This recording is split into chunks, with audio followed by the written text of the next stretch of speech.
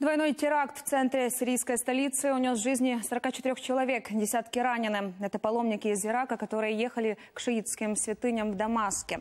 Взрывчатку заложили прямо на обочине дороги. Устройство сработало, когда мимо проехал автобус. Второй взрыв прогремел возле шиитского мавзолея. Террорист-смертник подорвал себя в толпе паломников. Ответственность за теракты пока никто на себя не взял.